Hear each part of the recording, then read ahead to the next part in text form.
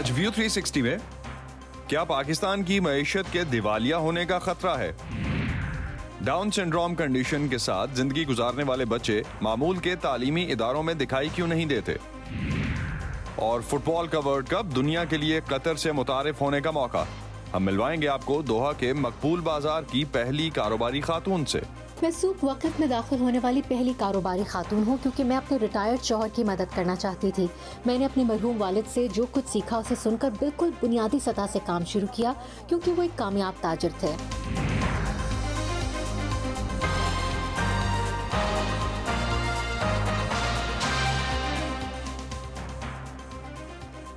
Voice of امریکہ کے Washington studios میں آپ سب کو خوش آمدید۔ آپ دیکھ رہے ہیں پروگرام ویو 360 اور میں ہوں محمد عاطف۔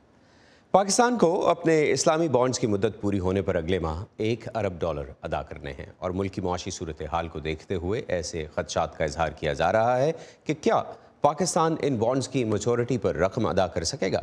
پاکستان کے وفاقی وزیر خزانہ اسحاق ڈار متعدد بار یقین دہانی کرانے کی کوشش کر چکے ہیں کہ پاکستان اپنی تمام ادائیگیاں وقت پر کرے گا، لیکن گزشتہ ہفتے سی ڈی ایس یا کریڈٹ ڈیفالٹ سواپ کی شرح پچہتر فیصد سے بھی اوپر چلی گئی، جس کے بعد پاکستانی میڈیا میں ایک بار پھر پاکستان کے ڈیفالٹ ہونے کی خبریں گرم ہوئیں۔ سی ڈی ایس ایک ایسا معاہدہ ہے جسے سرمایہ کار اپنا رسک کم کرنے کے لیے خریدتے ہیں۔ اس میں اضافہ مشکل معاشی صورتحال ظاہر کرتا ہے جو حکومت کے لیے بانڈز یا تجارتی قرضوں کے ذریعے عالمی مارکیٹ سے سرمایہ اکٹھا کرنا مشکل بنا دیتا ہے۔ وائس آف امریکہ کے محمد ثاقب ہمیں کراچی سے جوائن کر رہے ہیں۔ ان سے جانتے ہیں کہ کراچی میں سرمایہ کار یا مارکیٹس اس خبر پر کیا رد عمل دے رہی ہیں اور کیا وزیر خزانہ کا جمعے کو قومی اسمبلی میں دیا گیا بیان کہ پاکستان کو ڈیفالٹ کا کوئی خطرہ نہیں ہے، اس سے مارکیٹ کے اعتماد میں کوئی تبدیلی آئی ہے۔ ثاقب، بتائیے گا، کیا اس وقت صورتحال ہے وہاں؟ جی عاطف، بالکل اس حوالے سے سرمایہ کار اور جو دیگر لوگ ہیں، وہ کافی ملا جلا رجحان ظاہر کر رہے ہیں اور آج بھی ہم نے دیکھا کہ کراچی میں پاکستان اسٹاک مارکیٹ میں کوئی زیادہ تیزی دیکھنے میں نہیں آئی اور صرف محض تیس پوائنٹس کا اضافہ ہو سکا ہے۔ اس سے ظاہر ہوتا ہے کہ جو سرمایہ کار ہیں، وہ کافی محتاط ہیں اور ان اور انتظار کر رہے ہیں کہ جو سیاسی افراتفری اور سیاسی بے چینی اس وقت ملک میں موجود ہے وہ کسی ایک ایک طرف بیٹھے اس میں کوئی فیصلہ ہو سکے تو اس کے بعد آگے بڑھا جا سکے۔ جو تجزیہ کار ہیں، ان کا یہی کہنا ہے کہ کریڈٹ ڈیفالٹ سویپ کو لے کر بہت سے لوگ اس بارے میں کہہ رہے ہیں کہ پاکستان کے ڈیفالٹ ہونے کے خطرات بڑھ گئے ہیں، لیکن اس حوالے سے پرسیپشن بہت زیادہ ہے، جبکہ ریالٹی میں کسی حد تک نظر آتا ہے کہ اتنا بہت زیادہ سنگین صورتحال نہیں ہے۔ دونوں طرف سے جو جو ان کے کامنٹس موجود ہیں انالیسس موجود ہیں، اور ایک طرف جو تجزیہ کار ہیں، ان کا یہ کہنا ہے کہ چونکہ پاکستان کے پاس اس وقت آٹھ ارب ڈالرز کا بہت ہی کم فورن ایکسچینج ریزرو موجود ہے، اور اس طرح پاکستان کو جو ادائیگیاں کرنی ہیں، وہ بہت زیادہ ہیں۔ اور پاکستان کو، جیسا کہ آپ نے بتایا کہ دسمبر کے پانچ تاریخ کو جو بانڈز ہے وہ میچور ہونے جا رہا ہے تو اس کی بھی ایک ارب ڈالر کی ادائیگی کرنی ہے۔ اس تمام تر صورتحال میں ایکسپورٹ کم ہوئی ہے فورن ڈائریکٹ انویسٹمنٹ پہلے ہی کم ہوئی ہے، جبکہ ریمیٹنسز جس پر پاکستان کا تفصیلات زر جس کا جس پر پاکستان کا کافی زیادہ انحصار ہے وہ بھی کم ہوئے ان ساکب ایک اچھی خبر کہہ لیجیے تھوڑی سی کہ جو سٹیٹ بینک نے نمبرز دیے کرنٹ اکاؤنٹ خسارہ جو ہمیشہ سے ہر حکومت کا ہی مسئلہ رہا ہے۔ بہت بہت پچھلی ہم تین چار حکومتوں کو دیکھیں تو یہ مسئلہ ہمیں نظر آتا ہے۔ انہوں نے کہا کہ یہ گزشتہ سال کے مقابلے میں اس وقت جو اس سال صورتحال ہے وہ اڑسٹھ اشاریہ ایک فیصد کم ہوا ہے۔ لیکن اگر ہم اس کو ستمبر سے کمپیئر کریں تو چھپن اشاریہ دو فیصد بڑھا ہے۔ اس کی کیا وجوہات ہیں؟ دیکھیے آتے یقینی طور پر کرنٹ اکاؤنٹ ڈیفیسٹ یعنی کہ جاری کھاتوں کا خسارہ تو کم ہوا ہے اور اس سے یقینی طور پر حکومت کو ایک ایج ملا ہے۔ تھوڑی سی جو معاشی جو صورتحال ہے، اس میں بہتری کی علامت کے طور پہ تو ضرور دیکھا جا رہا ہے۔ لیکن جو معاشی تجزیہ کار ہیں، ان کا یہ کہنا ہے کہ یہ کافی نہیں ہے۔ پاکستان نے گزشتہ سال سترہ ارب ڈالر کا تاریخ ساز کرنٹ اکاؤنٹ ڈیفیسٹ کیا تھا اور اس سال بھی یہ تقریباً دس ارب ڈالر کے لگ بھگ رہنے کا امکان ظاہر کیا جا رہا ہے۔ تو اس تمام تر صورتحال میں جب ایکسپورٹ انتہائی کم ہو رہی ہیں اور دنیا بھر میں چونکہ جو معیشت سست روی کا شکار ہے تو اس کا اثر پاکستان پر بھی پڑ رہا ہے اور پاکستان کی ایکسپورٹ بھی کم ہوئی ہے۔ اس کے ساتھ ساتھ ہم دیکھ رہے ہیں کہ ریمیٹنسز کافی کم ہوئے۔ ہیں اس تمام تر جی۔ صورتحال میں اگر امپورٹ کم ہوئی ہے تو اس سے صورتحال کوئی بہت بہتر تو نہیں ہوئی ہے تاہم یعنی آپ یہ کہہ رہے ہیں کہ یہ وقتی وقتی سہارا ضرور ہے لیکن یہ مستقل سلوشن ابھی اس کا کوئی نظر نہیں آتا۔ بہت شکریہ ثاقب آپ نے کراچی سے ہمیں جوائن کیا اور موجودہ صورتحال کے بارے میں ہمیں بتایا۔ اسی بارے میں اب ہم مزید بات کرتے ہیں ماہر معیشت ثاقب رضاوی سے، جو کہ اسکائپ کے ذریعے ہمارے ساتھ موجود ہیں۔ آئی ایم ایف کے ساتھ اگلی قسط کے لیے جائزہ ملاقات میں تاخیر اور عالمی مارکیٹ میں پاکستانی بانڈز کی ادائیگیوں پر بے یقینی ہے۔ ثاقب صاحب، کیا اسحاق ڈار ابھی تک ملک کی معیشت پر اعتماد بحال نہیں کرا پائے؟ دیکھیے، یہ جو اسحاق ڈار صاحب نے کہا ہے کہ پاکستان ڈیفالٹ نہیں کرے گا میں اس بیان کو پہ یقین رکھتا ہوں۔ اس کی وجوہات یہ ہیں کہ سب سے پہلے پاکستان اس وقت ایک آئی ایم ایف پروگرام میں ہے۔ آئی ایم ایف پروگرام کا مین مقصد یہ ہوتا ہے کہ کوئی ڈس آرڈرلی ڈیفالٹ نہ ہو۔ اور یہ پروگرام اسی وقت اپروو کیے جاتے ہیں جب آئی ایم ایف یہ انشور کر لیتا ہے کہ ملک میں یہ کیپیسٹی ہے کہ جو ڈیٹ سروسنگ کی ڈیمانڈز ہوں گی وہ یہ میٹ کر سکیں۔ دوسرے یہ ہے کہ اس وقت پاکستان کے جو فورن ایکسچینج ریزروز ہیں بوتھ سینٹرل بینک اور کمرشل بینکس وہ آلموسٹ چودہ بلین ڈالر کے قریب ہیں۔ اور یہ جو پیمنٹ آ رہی ہے، یہ ایک بلین ڈالر کی ہے اور یہ پیمنٹ مینیج کی جا سکتی ہے۔ تیسرے یہ ہے کہ آپ نے سنا ہوگا یہ کریڈٹ ڈیفالٹ سواپ کا ایشو اس میں یہ چیز اس وقت ریلیونٹ ہوتی ہے جب کوئی ملک کمرشل بوروئنگ کے لیے انٹرنیشنل فائنینشیل مارکیٹ میں جا رہا ہو۔ پاکستان اس وقت یہ نہیں کر رہا تو یہ نمبر اوپر ہوں یا نیچے ہوں ان کا جو ریئلٹی ہے اس پہ کوئی زیادہ اثر نہیں ہے۔ اور یہ بھی آپ ذہن میں رکھیں کہ پاکستان نے آج تک کبھی ڈیفالٹ نہیں کیا اور کوئی حکومت جو ہے وہ یہ رسک نہیں لی رائٹ uh, ابھی اگر ہم یہ جو اسٹیٹ بینک کے نمبرز جس جس کے بارے میں میں ہمارے نمائندہ محمد ثاقب سے بھی بات کر رہا تھا کہ کرنٹ اکاؤنٹ ڈیفیسٹ کو کم دکھایا گیا ہے پچھلے ایک سال کے مقابلے میں، لیکن پھر ہمیں نظر آ رہا ہے کہ ستمبر کے بعد یہ بڑھ گئے ہیں۔ تو یہ یہ نمبرز جو کرنٹ اکاؤنٹ ڈیفیسٹ ہے خاص طور پر، اس کو اگر آپ ہمارے ویورز کے لیے ایکسپلین کریں کہ اس کا کم ہونا اوور آل معیشت کو کتنا فائدہ دیتا ہے اور اوور آل حکومت کو کتنی اسٹرینتھ دیتا ہے کہ وہ بہتر بہتر پلاننگ کر سکے۔ دیکھیں، یہ جو کرنٹ اکاؤنٹ ڈیفیسٹ ہے، یہ بیسیکلی ہے ایکسپورٹس اور امپورٹس کا ڈفرنس تو اگر یہ آؤٹ آف کنٹرول ہونے لگے، تو اس کا مطلب ہے کہ پاکستان کے فورن ایکسچینج پہ پریشر پڑنے لگ جائے گا۔ یہ جو اس وقت کرنٹ اکاؤنٹ ڈیفیسٹ لو ہوا ہے، یہ ایک اچھی بات ہے۔ اور یہ اس بات کا بھی اثر ہے کہ پاکستان کی جو فورن ایکسچینج ہے، وہ ڈپریشیٹ ہوا ہے، جس سے امپورٹس مہنگی ہو جاتی ہیں۔ دوسرے حکومت کی پالیسی بھی یہ رہی ہے کہ تھوڑا سا امپورٹس کو کنٹرول کیا جائے تاکہ یہ ڈیفیسٹ نیچے آ سکے۔ اس ڈیفیسٹ کا اصل حل لانگ ٹرم حل تو یہی ہے کہ پاکستان کی ایکسپورٹس بڑھیں۔ کیونکہ آپ جب امپورٹس کم کرتے ہیں تو اس سے پھر آپ کے ملک کی گروتھ بھی کم ہو سکتی ہے۔ رائٹ یہ بتائیے گا کہ کیا اور ایسے اقدامات ہو سکتے ہیں؟ آپ نے ایکسپورٹس کا ذکر تو کیا، لیکن ایکسپورٹس کے لیے کچھ جو گراؤنڈ ریالٹیز ہیں، ان کو بہت سیریسلی دیکھنا ہوگا اور یہ دیکھنا ہوگا کہ کیا پاکستان اس کپیسٹی میں آ بھی رہا ہے کہ وہ ایکسپورٹس کو بڑھائے۔ اس کے لیے حکومت کو کیا کرنا ہوگا؟ ایکسپورٹ سیکٹر کو کیسے مزید اسٹرینتھن کیا جا سکتا ہے؟ اس میں یہ ہے کہ ایک جو مارکیٹس کی تلاش کی جا سکتی ہے ڈائیورسیفائی کیا جا سکتا ہے اور جب انڈسٹری گرو کرتی ہے تو وہ اپنے ملک کے لیے بھی پیداوار مہیا کرتی ہے اور باہر والوں کے لیے بھی۔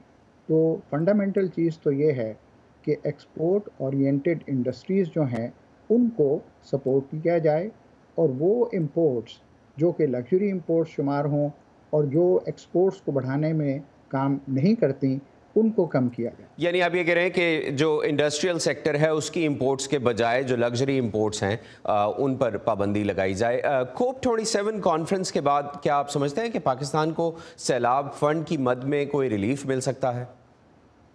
دیکھیں اس میں وہ ایک بہت خوش آئند سٹیپ ہوا ہے جو کافی ریولوشنری سمجھیں کہ امیر ملکوں نے یہ کہا ہے کہ وہ کلائمیٹ چینج سے جو ایڈورس افیکٹس ہو رہے ہیں، ان کے لیے مدد دیں گے پاکستان ان ملکوں میں سے ہے آٹھ ٹاپ ملک جو سب سے کم سی او ٹو پروڈیوس کرتے ہیں اور بہت زیادہ اس کا اثر ان پہ ہو رہا ہے تو یہ یقیناً ابھی وہ فارمولا ڈیوائز کرتا ہے، لیکن میرا یہ خیال ہے کہ Pakistan will be strong candidate of support from that book.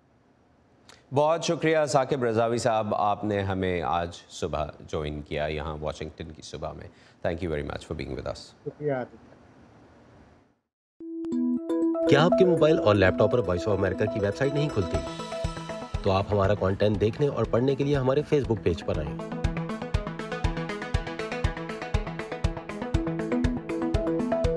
یا ہماری smart phone app download کریں جو ایپل اور اینڈرائڈ دونوں ڈیوائسز کے لیے دستیاب ہے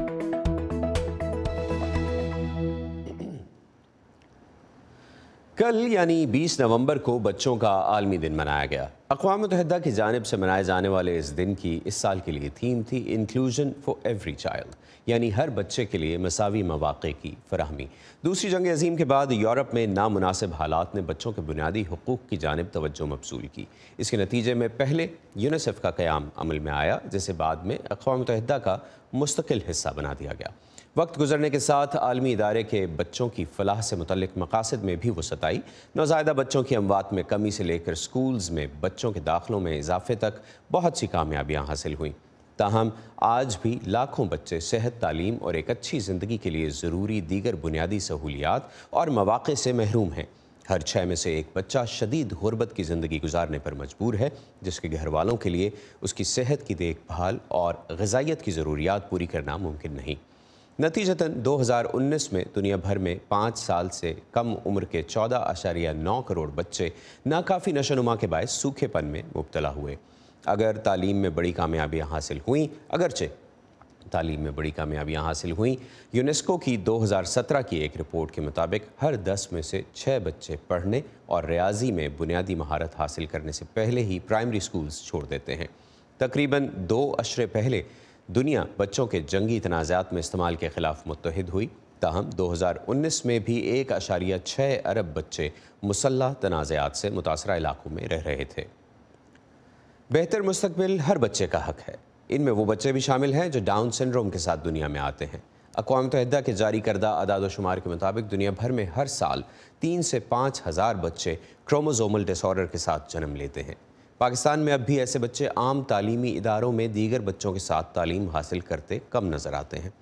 سترہ ڈار ملوا رہی ہیں ایک ایسی ٹیچرز سے جو نہ صرف خود ڈاؤن سنڈروم کے ساتھ پیدا ہوئیں بلکہ اب اپنے جیسے بچوں کو پڑھانے کا بھی کام سر انجام دے رہی ہیں۔ ڈاؤن سنڈروم کی کنڈیشن میں مبتلا ان طلبہ کے لیے اس اسکول کی چار دیواری سے باہر باقاعدہ تعلیم حاصل کرنے کے مواقع شاز و نادر ہی ہیں۔ یہ بات ان کی چھبیس سالہ ٹیچر زارا حلائی سے بہتر کون جان سکتا ہے جو خود ڈاؤن سنڈروم کے ساتھ زندگی گزار رہی ہیں؟ پر جب میں ٹیچنگ کروں میں کلاس میں مشکل ہوتی ہے، پر یہ چھوٹے بچے from the age of two to three دو سال، دو تین سال میں، وہ بہت بگ ڈفرینس ہے۔ اور ایج کیریئر پر ہم جب انٹریکٹ کرتے ہیں بچے کے ساتھ اور مزے کی چیز کرتے ہیں اور ایکٹیویٹیز بھی، تو وہ سب انرول ہوتی ہے اور ہم پڑھاتے ہیں بچے کو اور اس کو مزہ آتے ہم کو بھی مزہ آتے اور زارا نے اپنے شوق کی تکمیل کے لیے ٹیچنگ کے شعبے کو اس لیے چنا تاکہ وہ ڈاؤن سنڈروم کے ساتھ زندگی گزارنے والے بچوں کو تمام تر صلاحیتوں اور بہتر تربیت کے ساتھ اس مقام پر دیکھیں جہاں آج وہ خود کھڑی ہیں۔ زارا نے جو چاہا وہ پایا۔ بہترین اسکول اور رہنمائی کرنے والے اساتذہ کے ساتھ ہمہ وقت مدد کرنے والے والدین کی بدولت ان کی مشکلات آسانیوں میں بدلتی گئیں۔ زارا کہتی ہیں کہ ہر بچے کے لیے مہنگے اسکول میں پڑھنا ممکن نہیں، لیکن ایسے بچے جنہیں توجہ اور پیار کی زیادہ ضرورت ہے، ان کے لیے ہر اسکول میں داخلہ نہ ملنا صرف شعور کی کمی کی وجہ سے ہے۔ یہ ایک چیلنج ضرور ہے، لیکن ناممکن نہیں۔ گورنمنٹ اسکولس کے لیے بس پہلے اویئرنیس دینی ہے دین ہم بھی ٹریننگ دے ٹیچرس کو اور اور اس کے بعد وہ چلڈرن بچے جا سکتی ہے اسکولس میں رائٹ پر وہ جب وہ صحیح ٹھیک نہیں کرے گا تو کیا فائدہ اسکول بھیجنے کا بچے کو پر پہلے awareness then anything else Karachi Down syndrome programme سن دو ہزار چودہ سے مختلف طبقات، رنگ و نسل سے تعلق رکھنے والے بچوں کو ایک ہی چھت تلے تعلیم اور ہنر دونوں سکھا رہا ہے۔ ہماری ڈکشنری سے نا ہم نے نارمل اور اب نارمل والے لفظ ہٹائی دیے ہیں۔ ہمارے لیے ہر کوئی برابر ہے۔ رائٹ تو کوئی عام بچہ یا کوئی خاص بچہ، ہم اپنی کوشش کرتے ہیں ڈکشنری میں یہ لفظ یوز ہی نہ کریں because every child is special in their own way ہر بچہ اپنی اسپیشل اٹینشن ریکوائر کرتا ہے، بے شک وہ انڈیویجول ڈاؤن سنڈروم ہو یا کوئی ٹپیکل بچہ ہو۔ تو یس دیر اسپیشل یس یہ بچے بہت اسپیشل ہیں just like any other child every child special یہ ہمارا ویژن بھی یہی ہے، ان کو یہیں پہ دیکھنا ہے، آگے بڑھیں اسکلز اپنی ایک کوئی ایسی اسکل پہ مہارت حاصل کر کے یہ انڈیپینڈنٹ بنے ادھر استاد کی شکل میں زارا کی موجودگی ان بچوں اور ان کے والدین کے لیے نہ صرف ایک امید ہے، بلکہ ایک ایسی مثال بھی، جسے دیکھ کر انہیں اپنے بچوں کا مستقبل روشن دکھائی دیتا ہے۔ میں ہر وقت بولتی ہوں، آپ پلیز بس آپ خدا سے دعا کرو اور میں پازیٹیو چیزیں بولتی ہوں، میں لائک آپ دعا کرو، آپ کے بچے کچھ بنیں گی ٹائم لگے گا بچے کو، میں ایک رول ماڈل ہوں۔ فار دیز کیڈس فار یہ سب بچے کا تو وہ بھی جانتے اور یہ یہ بچی یہ لڑکی بہت اچھی کام کر رہی ہے اور ہماری رول ماڈل ہے اس کو دیکھو سیکھو وہ ایک ایگزامپل ہے زندگی کی تمام خوشیاں اور رنگ بچوں کے دم سے ہیں جن کا آنے والا کل اسی صورت میں روشن ہو سکتا ہے جب انہیں بہتر تعلیم کے ساتھ ساتھ حوصلہ افزا اور محفوظ ماحول میسر ہو جو ان کے سنہرے مستقبل کی چمک کو کبھی مان پڑنے نہ دے۔ Sidra Dar voice of America Karachi. بہت ہی متاثر کن سٹوری تھی۔ مسلمان اکثریت والے ممالک عموماً دنیا بھر میں مظلوم مسلمان کمیونٹیز کی حمایت کرتے ہیں۔ لیکن کچھ لوگوں کا کہنا ہے کہ چین بیرونی ملکوں میں ایسی آوازوں کو دبانے اور مکالمے کو روکنے کی کوشش کر رہا ہے جو چین کے علاقے سنکیانگ میں مسلم اقلیتی گروپ کے ساتھ مبینہ بدسلوکی سے متعلق ہوں۔ چینی کمیونسٹ پارٹی کی جانب سے صدر شی جنگ پنگ کی تیسری مدت کے لیے منظوری کے بعد ویگر کمیونٹی کے سرگرم کارکنوں کو سنکیانگ صوبے میں مسلمان اقلیتی گروہ کے خلاف بیجنگ کی پالیسیوں میں بہت کم تبدیلی نظر آ رہی ہے۔ چین میں سن دو ہزار اٹھارہ سے زیر حراست اپنی بہن ڈاکٹر گلشن عباس کی تصویر تھامے۔ یہ ہیں ویگر امریکی روشان عباس۔ روشان کیمپین فار ویگرز نامی تنظیم کی بانی ہیں چینی خواتین اور بچوں کے خلاف جنگ جاری رکھے ہوئے ہیں۔ ہمیں نس بندی جبری اسکات حمل اور ان کے جسم میں زبردستی آئی یو ڈی ڈیوائسز ڈالنے کا سامنا ہے۔ اکتوبر کے اوائل میں اقوام متحدہ کے انسانی حقوق کونسل میں ویگروں کی حالت اظہار پر بحث کو آگے بڑھانے کے لیے امریکی حمایت یافتہ ایک مجوزہ قرارداد کو شکست کا سامنا کرنا پڑا۔ سینتالیس اراکین میں سے صرف سترہ نے تحریک کی حمایت کی۔ گیارہ مسلمان اکثریت والے ممالک جیسے انڈونیشیا اور متحدہ عرب امارات نے اس کی مخالفت کی۔ مجھے انڈونیشیا سمیت کچھ ممالک کو دیکھ کر دکھ ہوا جنہوں نے اس بحث کے خلاف ووٹ دیا کہ ویگر اور دیگر ترک مسلمانوں جیسے ان کے ساتھی مسلمان بھائیوں اور بہنوں کے ساتھ کیا ہو رہا ہے۔ انڈونیشیا نے چین کے اس نقطۂ نظر کو دہرایا کہ امریکہ اور دیگر مغربی ممالک کی طرف سے وسیع پیمانے پر حمایت یافتہ یہ قرارداد چین کے اندرونی معاملات میں مداخلت کی کوشش تھی۔ ہمیں یقین ہے کہ کاؤنسل کی طرف سے آج جو موقف اختیار کیا گیا ہے اس سے کوئی معنی خیز پیش رفت نہیں ہوگی کیونکہ اسی وجہ سے خاص طور پر اس سے متعلقہ ممالک کی رضامندی اور حمایت حاصل نہیں ہے۔ چین طویل عرصے سے ویگر آبادی کے انسانی حقوق کی خلاف ورزیوں سے انکار کرتا آیا ہے۔ لیکن اگست کے اواخر میں اقوام متحدہ کی حقوق سے متعلق کونسل کی ایک رپورٹ میں ویگروں کے خلاف انسانی حقوق کی خلاف ورزیوں کے شواہد ملے، جو انسانیت کے خلاف جرائم بن سکتے ہیں۔ ان الزامات کو مسترد کرنے کے لیے چین نے اکثر انڈونیشیا کے صحافیوں اور مسلمان رہنماؤں کو سخت نگرانی میں صوبہ سنکیانگ کے ریاستی دوروں کے لیے بھی مدعو کیا ہے۔ لیکن کچھ لوگوں نے انڈونیشیا کی حکومت کے موقف پر ملک کی پارلیمنٹ میں سوال اٹھائے ہیں، جن میں انڈونیشین رکن پارلیمنٹ سکامتا ایوان میں خارجہ پالیسی کمیشن کے رکن ہیں۔ اگر کوئی ثبوت ہے تو ہم امید کرتے ہیں کہ انڈونیشیا کی حکومت اس پر عمل کرے گی۔ ہمیں اس بات کو یقینی بنانا ہوگا کہ وہاں انسانی حقوق کی کوئی خلاف ورزی نہ ہو۔ اقوام متحدہ کے کم از کم ایک سفارتکار نے کہا کہ ووٹنگ سے قبل ہیومن رائٹس کاؤنسل کے اراکین پر چین کی جانب سے بقول ان کے بہت زیادہ دباؤ تھا۔ یونی سلیم کے ساتھ Nadeem Yaqub voice of America آج کے دور میں سچائی اہم ہے۔ دنیا میں کہیں بھی سچ کو جانیے صرف ایک کلک سے۔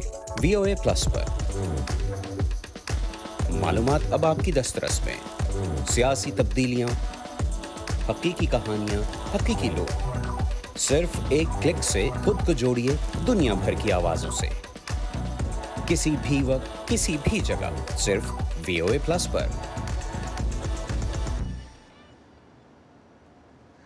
دوہا قطر کی ایک خاتون غالباً پہلی خاتون ہیں جو شہر کی معروف سوک واقف مارکیٹ میں کاروبار کر رہی ہیں۔ اور پر امید ہیں کہ فٹ بال کے عالمی کپ کو دیکھنے کے لیے قطر آنے والے سیاح، ان کے ریسٹورانٹ کے قطری کھانوں کے ساتھ ساتھ ان کی زندگی کی کہانی سے بھی محظوظ ہوں گے، جو ثابت قدمی اور رکاوٹوں کو عبور کرنے کی کہانی ہے۔ کاروبار چلانے کے بارے میں بہت کم معلومات کے ساتھ شمس القصابی نے دوحہ کے سوق واقف بازار میں ایک ریسٹورنٹ اور مسالہ جات کی دکان کھولنے کا فیصلہ کیا۔ جب انہوں نے شروع کیا، وہ جانتی تھیں کہ یہ ایک بہت بڑا چیلنج ہے۔ لیکن انہیں بعد میں آنے والی ان رپورٹس کی توقع نہیں تھی، جس میں کہا گیا کہ اس مقبول بازار میں کاروبار کی مالک وہ پہلی خاتون ہیں۔ میں سوق وقف میں داخل ہونے والی پہلی کاروباری خاتون ہوں کیونکہ میں اپنے ریٹائرڈ شوہر کی مدد کرنا چاہتی تھی۔ میں نے اپنے مرحوم والد سے جو کچھ سیکھا اسے سن کر بالکل بنیادی سطح سے کام شروع کیا کیونکہ وہ ایک کامیاب تاجر تھے۔ شروع میں وہ بازار کے پالتو جانوروں کے علاقے میں اچار بیچتی تھیں۔ ایک دن ایک فوٹوگرافر کی نظر ان پر پڑ گئی جس نے ان کی تصویر کھینچی اور کتری مارکیٹ میں پہلی خاتون تاجر کی کہانی شائع کر دی۔ اولا میں قطری ثقافت دیکھنے کے شوقین مہمانوں کو اپنے کھانے اور مہمان نوازی کے ذریعے اپنی ثقافت سے محبت اپنے ملک سے محبت دکھانا چاہتی ہوں۔ جب مارکیٹ زیر تعمیر تھی تو مینیجرز نے ان کو مسالوں کی دکان کھولنے کی ترغیب دی جس سے وہ پہلے ہچکچائیں۔ مردوں کے ساتھ کام کرنا ان کے لیے پہلا تجربہ تھا لیکن وہ کہتی ہیں کہ اس سفر میں زیادہ تر لوگ مددگار رہے ہیں۔ یہ عورت بہت خاص ہے۔ آپ اس کی آنکھیں دیکھتے ہیں۔ یہ جذبے سے بھرپور آنکھیں ہیں۔ کیونکہ جب آپ اس سے ملتے ہیں، تو وہ واقعی اس طاقت، ہمت اور محبت کی عکاسی کرتی ہے جو اس کے پاس ہے۔ جو اس نے اپنی قوم کے لیے، اپنے لوگوں کے لیے اور ہم سب کے لیے جو غیر ملکی ہیں، تخلیق کی ہے۔ وہ ہمیں ایسا احساس دیتی ہے جیسے ہم اس کے خاندان کا حصہ ہوں۔ شمس القصابی کا کہنا ہے کہ انہوں نے اس بازار اور تمام قطری خواتین کے لیے ایک مثال قائم کی ہے۔ جن میں سے بہت سی قیادت کا کردار ادا کرنے یا معیشت اور افرادی قوت کی فعال رکن بننے سے خوف زدہ ہیں۔ وہ ہمیں دکھاتی ہے کہ ایک عورت کتنا فرق لا سکتی ہے۔ ہم دنیا کو کیسے دیکھتے ہیں اسے وہ تبدیل کر دیتی ہے۔ ہم عرب دنیا میں ہیں۔ ہم ایک ایسی دنیا میں ہیں جہاں خواتین کو کچھ مخصوص راستوں پر چلنا ہوتا ہے اور وہ اس دنیا میں منفرد ہے۔ وقت گزرنے کے ساتھ شمس کا بارہ نشستوں والا ریسٹورانٹ بڑھ کر ڈھائی سو مہمانوں کی نشستوں تک پھیل گیا ہے۔ ان روایتی قطری پکوانوں میں سے ہر ایک کے ساتھ یہ شیف نہ صرف اپنے ملک کے لوگوں کا، بلکہ پوری دنیا سے آنے والے لوگوں کا دل جیتنے میں کامیاب ہوئی ہیں۔ سلیا مینڈوزا کے ساتھ سادیا زبرانجھا وائس آف امریکہ ہمت ہو تو خواب حاصل کرنا کچھ مشکل نہیں ہے۔ یہی سیکھا ہم نے اس سٹوری میں۔ قطری خاتون کی جس سٹوری کو آپ نے ابھی دیکھا۔ اسی پر ختم کرتے ہیں آج کا ویو 360 اپنا خیال رکھیے اور پاکستان اور خطے سمیت دنیا بھر کی اہم خبروں اور دلچسپ معلومات کے لیے آئیے ہماری website Urdu B O A dot com پر۔ یہ سارا کانٹینٹ آپ کو ملے گا ہمارے سوشل میڈیا پلیٹ فارمز پر بھی۔ Facebook dot com slash V O A Urdu YouTube پر ہمارا چینل ہے وی او اے اردو کے نام سے اور ٹویٹر اور انسٹاگرام پر ہمارا ہینڈل ہے at we O A Urdu اب تک کے لیے اتنا ہی. محمد عاطف کو اجازت دیجیے خدا حافظ.